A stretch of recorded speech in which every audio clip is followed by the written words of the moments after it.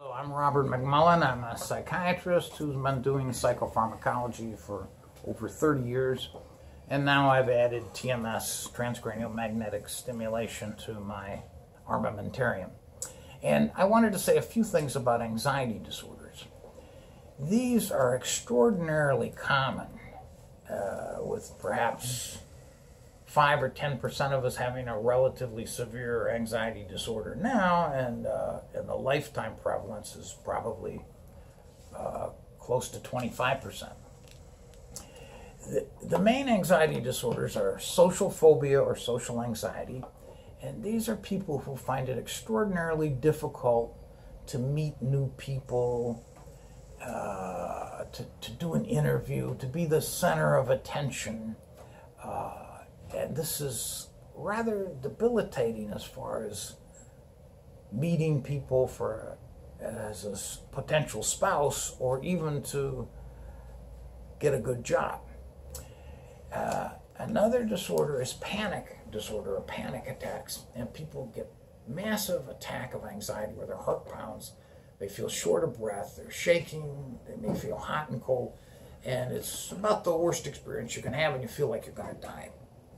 And if you're having a few of these per week, you begin to have a very difficult time leaving the house or leaving your apartment.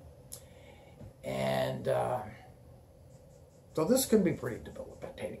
Another anxiety disorder is just generalized anxiety. Somebody who worries all the time.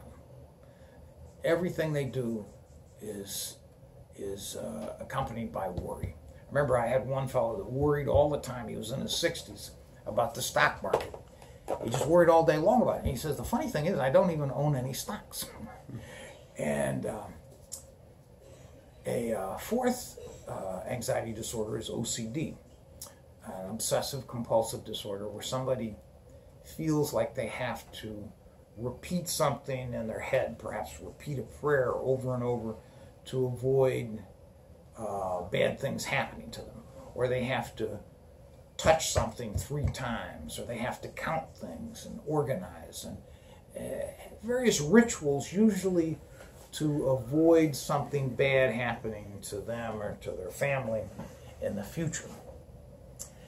And a fifth anxiety disorder is post traumatic stress disorder, which, of course, uh, is uh, caused by acute traumas or sometimes ongoing moderate traumas that have been going on for years will, will create post-traumatic stress disorder. And those people have a combination of anxiety symptoms and depression, and uh, basically you treat them with uh, the same things you treat anxiety and depression with. And uh, so, what is the most common treatment? The most common treatment is to start people out on an SSRI, serotonin type medication, or a dual action one, uh, like uh, Cymbalta, uh, duloxetine, Effexor, which is venlafaxine, or Pristiq. Uh, and these uh, dual action ones are perhaps a little better because they may be a little more effective and more depression and uh, and are less likely to poop out. Uh, one likes to use these serotonin medications so that one can use as little as possible of benzodiazepines. But frequently, the serotonin medicine is not going to completely solve the problem and you end up adding a benzodiazepine, a Valium type medicine, Valium's diazepam, Librium is chlordiazepoxide, uh, Klonopin, clonazepam, Ativan's lorazepam, Xanax is alprazolam. Uh, these medications are pure anti-anxiety agents, and uh, and they work uh, fairly well.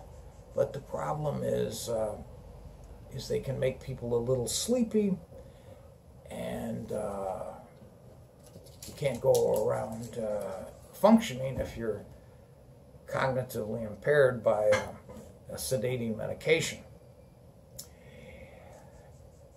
And then there's some risk of uh, getting dependent on these things, particularly uh, Xanax and Valium. The uh, the risk is in some people abuse, especially people that have had a tendency to abuse recreational substances. They could get into trouble. Uh, another problem is just being physically dependent on them, especially short-acting ones like Xanax, alprazolam. Although it, in some people, seems to be the best possible thing to use for panic attacks, the fact that it binds tightly to the receptors and has a relatively short half-life means that if you go away for the weekend and you forget to take it with you, you'll turn around and drive back to get it. Where if you're on a, a much longer acting uh, medication like uh, Klonopin, clonazepam, if you on a way on your way to go visit some friends for the afternoon, uh, you won't turn around and come back to get it. You'll say, "Well, I'll get really anxious by late this evening, but I'll be back by then anyway." Uh, now, these these anxiety disorders can also be treated by uh,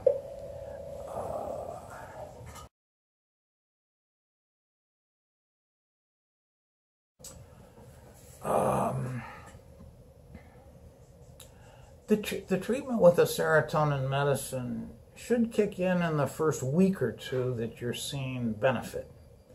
And it may take a few weeks to see maximum benefit, and by that time you're probably adding in a benzodiazepine to uh, hurry things up.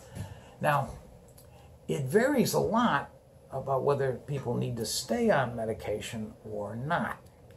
Um, if, if somebody has social anxiety since they've been 12 years old and they're 28 and they've just had massive anxiety anytime they've had to get up and uh, speak in public in a classroom or, or interview for a job or meet a girl for a date, then they're probably going to have this chronically all their life.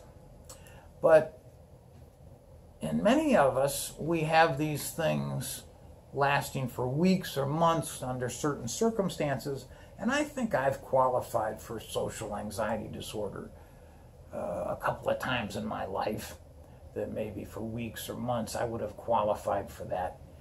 And so sometimes it it's it's a temporary thing and then the person will eventually be able to come off the medication and they'll do okay. Uh, I remember one of the first people with panic attacks I treated was a tennis teacher. And uh, and he was having such massive panic attacks that I had to go out to Brooklyn to his apartment in order to evaluate him to treat him. And uh, it turns out that he was having these, mm, you know, every year or six months, he would have panic attacks begin. And once they began, he would get so frightened he couldn't get on the subway. He couldn't even leave his apartment, and his brother would have to bring him food. And then, after some months of having the panic attacks, they would gradually go away, and then he would uh, go on the subway one stop and then turn around and come back. And he'd do that a few times. Then he'd go to two stops and then turn around and come back. And he'd gradually move out and get over his phobia. And then he'd do well for many months with no panic attacks, but then they uh, eventually would come back. Uh, I met an internist once I treated who was in his 80s, and when he was in his early 30s, he began to have panic attacks. So he had to hire a young man to drive him to the hospital. And then he had to have the young man go with him up the elevator to see the patients. His panic attacks got worse and worse, so that eventually he couldn't leave his townhouse. I don't know where he got the money to own a townhouse in New York. You can't do that now very easily. But uh, he, he got married, he had children, and he lived there for decades, but he never left. he made his money by uh, writing some books and uh, and if he tried to leave his townhouse, he'd start having such a severe panic attack he'd have to lean up against the building, and then he'd go back in. Now this fellow had suffered with this for something like 40 years, so it can go on indefinitely, and. Uh, so and some people comes and goes, and some people it's, it's So steady. no no guarantee for And there's no guarantee, but that- but you definitely should treat it because you can't just let somebody suffer. And you also have the possibility that if it's treated, that you'll gradually get over your fears and you will be able to come off the medication. But it, it's uh, not so bad if you have to stay on medication. Uh, uh, you know, my wife was complaining to her internist, you know, now that her blood pressure is normal, does she still have to take this uh, blood pressure medication? And he says, well, you know, the blood pressure can kill you, but this pill won't kill you. And uh, sometimes uh, people have too much fear. There, there's a saying in Yiddish, man hat mehr Meure von der uh, Krank wie von der Medicina. Uh, people have more fear of the illness than they do of the medicine. And uh, we only live once, and there's no sense going through life suffering.